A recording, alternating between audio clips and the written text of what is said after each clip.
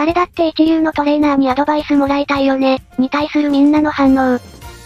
トレセン学園ではトレーナーと馬娘の積極的な交流が奨励されていて、担当でないトレーナーと悩み相談をする馬娘も少なくないわ。中には週1で、オープン相談室を開くトレーナーもいるのよ。でも相談してくるこの中には、明らかに違う目的の子もいるらしいわ。ちょっと、その人は私のトレーナーよ。あんなスカウトするんだから仕方ないね。誰だって一流のトレーナーにアドバイスもらいたいし、仕方ないね。トレーナーの好みなんて、レースには関係ないじゃないのよ。一流のトレーナーと付き合いたいよね。試験期間前後になると、毎回開催される上トレ塾。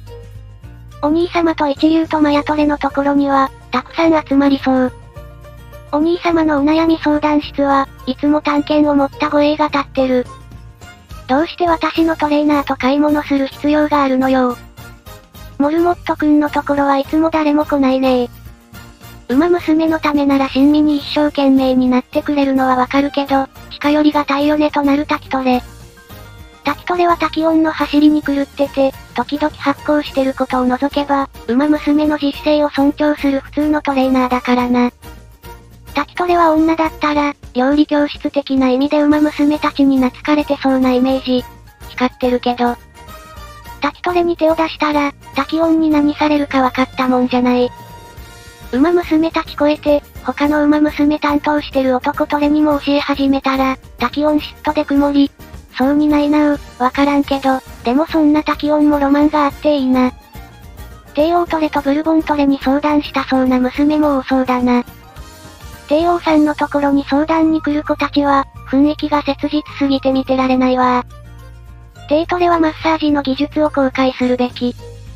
マックトレさんとタマトレさんも人気よ。食絡みの悩みはやはり多いわトレーナーと馬娘両方からアドバイスもらえるカフェトレは、人気ありそう。霊障ついてくるけど。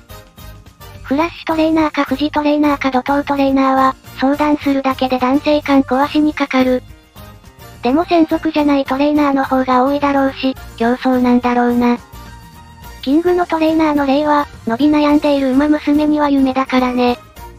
キングを見てたら、キングだけの一流トレーナーにしか見えん。他の馬娘では一流に離れない気が。筋トレは話題と実績で人気が出るけど、実際に接した9割ぐらいが、なんか普通の人だなってなるタイプ。1割ぐらいが内に秘められた一流のヘッポコに気づいて、ドハマりする？キングと筋トレ両方ありきで一流だからな他の馬娘ではなんとも、それに筋トレに色目使ったら知らない番号から鬼伝が来るし、キングと見ていくシリーズスキュー、キング筋トレが話題の主軸になるの珍しくない？キングのトレーナーと新キング。ふ。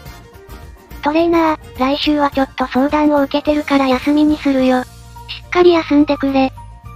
一日中悶々としちゃって全然休めないやつ。成田トップロードじゃないのよ。トプロのことを NTR の隠語みたいにするのはやめるのだ。オープン相談室って、隣で担当場が親の仇を見るような目で、握手会の剥がししてくるんやろな。フラトレとかお兄様とか、トレーナーが美形な娘はかかりまくってそう。フラトレはそこら中でナチュラルに落として回ってくる。だから早期に親に紹介する必要があったんですね。ファルトレのところはただのファンクラブの会合になってそう。上トレはマジ有能なので、冗談だけではなく多くの馬娘を担当すべき。冗談の脳を破壊しないでくれ。上トレのトレーナー室すでにギャルの溜まり場になってる。冗談のトレーナーがそういう場を設けたら、くっそ重い人生相談ばっかりになりそう。デートレの足マッサージ体験、上トレの勉強会、オペトレの世界有名人との交流会、タイトレのポエム教室。この人が2部トレーナーとか、聖なる一歩半の人なのかって思われるの辛い。ファイトレのラーメン教室、なぜいてもファインと釈迦と隊長しか来ないのだろうか。オグリやスペアライスも来るんじゃないかな。ラーメンをたくさん食べられるのだと勘違いして。オグリ太り気味になったらラーメン食べて直すから、積極的に活かせてそう。玉トレのお料理教室、栄養バランスが完璧。スカウトそっちのけで気分転換に無人島行った、ちゃんこトレーナーには誰も来ないだろうな。ただでさえバグってる思考回路を、女神に焼かれてしまった。そう思ってたら料理を持った馬娘たちが続々と列になってるわね。料理を食べて感想を見せてほしいってことらしいけど、あなたたちレースのこととかじゃなくていいの？どうして他のトレーナーや職員さんまで並んでるのよ？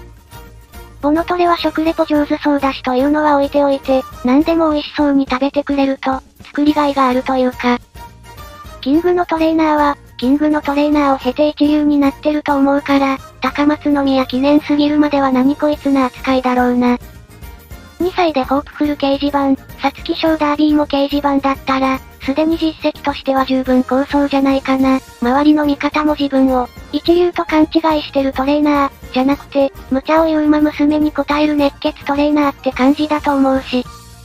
一流を自称しなきゃ十分な実績だろうけど、多分デビュー前キングを、他のトレーナーが評してたのと同じような評価でないかな。キング含めて近くで知らないと良さがわからない。